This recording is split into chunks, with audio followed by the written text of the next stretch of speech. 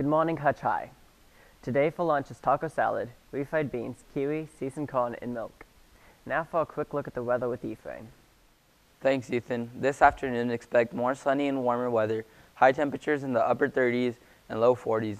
South south winds 12 to 22 miles per hour. Later this evening, temperatures getting back into the 20s with a south wind 6 to 12 miles per hour. Now back to Ethan. Thank you, Ephraim.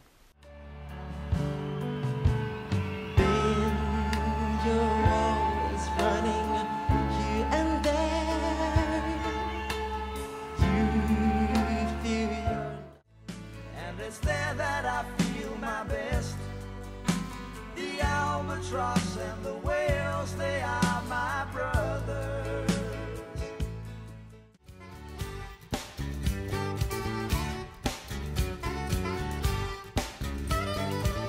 He wakes up in the morning. Attention Key Club members. If you have not paid your club dues, you need to pay them by the end of this week. Please give them to Mrs. Stout and, two, and A201 or Mrs. Wilson in the board feeder. There will be a talk with HHS, IBS, and the PLC during seminar on Wednesday. If you want to find out about IB, come to the meeting. Uh, sports today, a basketball here versus Salina Central.